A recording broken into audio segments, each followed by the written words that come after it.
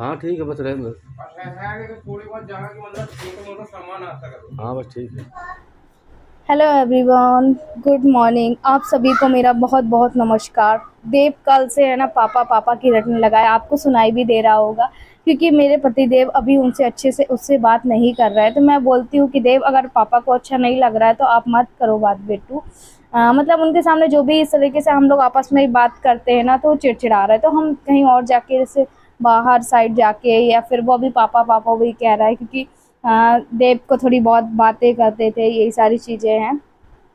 तो यहाँ पे मैं आप लोग को बता दूँ कि कुछ मैंने फ़ैसला लिया है, जो कि आज मैंने आप लोगों से शेयर किया है। और अगर आप मेरे इस फैसले से सहमत हैं अच्छा लग रहा है तो आप ज़रूर बताइएगा। क्योंकि देखिए कुछ चीज़ें हैं जो मैं अकेले तो निर्णय ले लेती हूँ, पर मुझे आज लग रहा है कि आप लोगों को बताना ये चीज़ ज़्यादा ज़रूरी है, आप लोगों से पूछना ज़्यादा ज़रूरी है।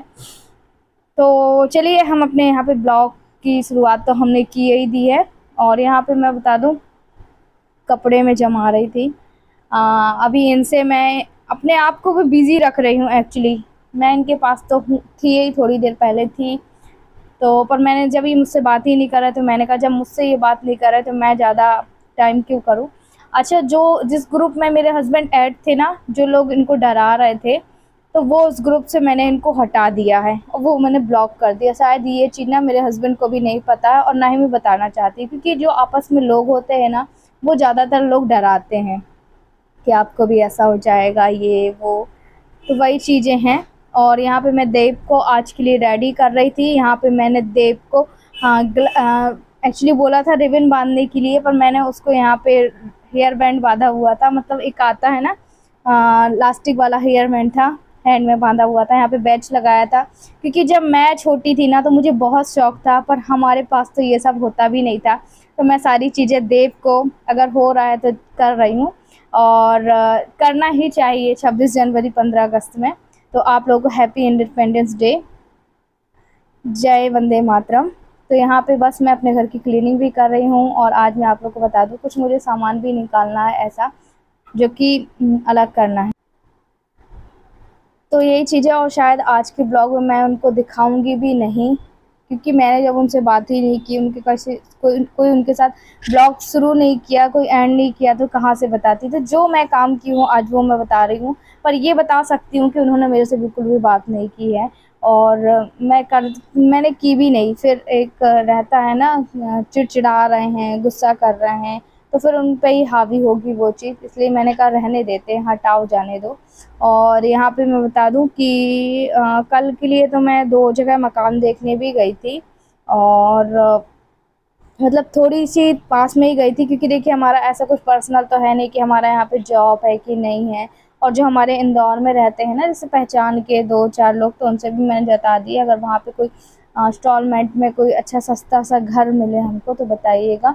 या फिर हम वहाँ शिफ्ट हो जाएँगे। ऐसी सब मेरी बातें चल रही हैं, क्योंकि जो अब हालात हैं, हालातों को देखकर मैंने ये फ़ैसला लिया है। हो सकता है किसी किसी को मेरा ये फ़ैसला गलत भी लगे। और इसमें से मैं आप लोग को बता दूँ हंड्रेड एंड में से फोर्टी या फिफ्टी परसेंट मैं इसमें हाँ हूँ। और मेरी ये अकेले का फ़ैसला है अभी। पर आप लोगों को मैं ये पूछ रही हूँ कि आप लोग को सही लग रहा है, गलत लग रहा है? मुझे ज़रूर आज के दिन राय दीजिएगा। आपकी राय की बहुत ज़्यादा ज़रूरत है। क्योंकि मेरी परेशानी को मैं तो समझ ही रही हूँ, मुझसे बेहतर आप समझ पाते हैं। तो यहाँ पे जितना भी सामान यहाँ वहाँ रखा हुआ था तो जो डिब्बे मैंने मंगवाए थे ना, इनको वॉश करके मैंने सारों में पलट दिया है। कहीं कुछ रखा है सामान, कहीं कुछ रखा है। और थोड़ा बहुत राशन भी लेकर आई थी मैं तो वो सारे पलट रही थी। एक तरफ़ यहाँ पे मेरा कढ़ाई में कुछ बन रहा था, मुझे इतना अभी नहीं पता कि क्या बन रहा है। और मैं आप लोग को ये भी बता दूँ कि जब आप लोग पूछ रहे थे अभी हस्बैंड आपकी कैसे हैं? ठीक है। तो अभी तो वो ठीक है बट मतलब ठीक मैं बोल सकती हूँ। मैं तो यही बोलूँगी, है ना? और मेडिसिन खा रहे हैं, अभी दो दिन हुआ है वन वीक बाद चेक कराना है। धीरे धीरे किसी भी चीज़ में नॉर्मली धीरे धीरे आराम लगेगा, है ना? एकदम से तो लगेगा नहीं। तो यहाँ पे मैं आप लोग को बता दूँ, आपने इसके पहले ये मैट हमारे घर के बाहर लगी देखी होगी। पर ये मैट अब मैं उनको घड़ी करके और रख दूँगी। इनको वॉश कर ली है मैंने अच्छे से और यहाँ पे बाजू में सो हुए थे। अच्छा मैं उनके सामने बोल भी रही थी ना तो उनको गुस्सा आ रही थी अगर मैं उनको कोई वीडियो बना रही थी। इस समय उनको आ रही थी तो मैं नहीं चाहती कि उनका गुस्सा देख के आपको गुस्सा आए, इसलिए। थोड़ा सा जब व्यक्ति बीमार होता है ना कुछ सोचने लगता है, ज़्यादा सोचने लगता है तो उसको स्वाभाविक से गुस्सा आता ही आता होगा। और ये बहुत बड़ी चटाई थी। आप लोग ने हमारे यहाँ हॉल के पीछे देखी होगी। वो यहाँ पे हमने लगाई हुई थी। तो अब हम जहाँ पे रहेंगे तो इन सबको लेकर सामान तो जाना ही होगा हमें। तो मैं धीरे धीरे से समेटा समेटी कर रही हूँ अभी। और जैसे कि आप लोग को मैंने बताया कि अभी कितने परसेंट जाना है है ना? तो यहाँ पे खोखे में भर रही हूँ। और ज़्यादातर मेरे पास खोखे हैं अमेज़ोन से, जो भी पार्सल आए हुए थे। तो यहाँ पे मैं उन पर जमाते जा रही हूँ ताकि क्या होगी, बाद में हमें दिक्कत नहीं जाएगी प्रॉब्लम नहीं जाएगी। अच्छा यहाँ पे मैंने कुछ अपने ऊपर से भी यहाँ पे भी सामान निकलवाया था, ये देखिए। तो ये भी सारी चीज़ें ना मैं जमा रही हूँ, जो ज़रूरी चीज़ होगी वो हम बाँध करके रख लेंगे, ले जाएँगे, क्योंकि वैसे भी हमारे अंदर तो इतना सामान नहीं है, पर बाहर जितना सामान है ना, हम उनको, हमें उनको तो ले ही जाना ही जाना होगा। और जो भी चीज़ होगा, उनको हम ले जाएँगे, जो नहीं होगा वो कबाड़ के उसमें बेच देंगे। तो यहाँ पे फिर मैंने एक भैया को बुलाया था, जो मेरे मतलब कि यहीं पे रहते हुए हैं। वो थोड़ा बहुत काम हमारे घर का कर देते हैं, यहाँ पे हस्बैंड बैठे हुए थे। मैंने उनको कुर्सी में बोल दिया था, आप बाहर बैठ जाओ। और उन्होंने ये सेलफ़ोन पकड़ा हुआ था, मैं ये भी आप लोग को बता दूँ। तो यहाँ पे मैं सारे जो बड़े बैग हैं, खोखे हैं, उनमें से छोटा मोटा आइटम जो भी है, वो उनको भरते जा रहे हैं हम।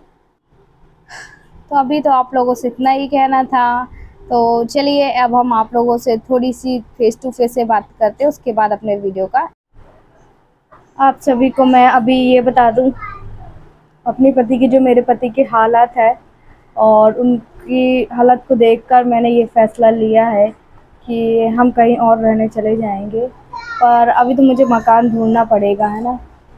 और एक तरफ़ मैंने ये भी देखा हुआ है कि जैसे निगेटिव ही चीज़ आती है ना आपके यहाँ जो आपके पुराना, टूटा, फूटा सामान, ये सब अगर ज़्यादातर रखा रहता है तो आप क्या निगेटिव चीज़ ज़्यादा आती है तो उन्हीं सबको मैं क्लीन कर रही थी। और, है ना? और शायद कुछ दिनों बाद, ये थोड़े दिनों बाद आपको पता चल जाएगा कि हम कहाँ जा रहे हैं, क्यों जा रहे हैं।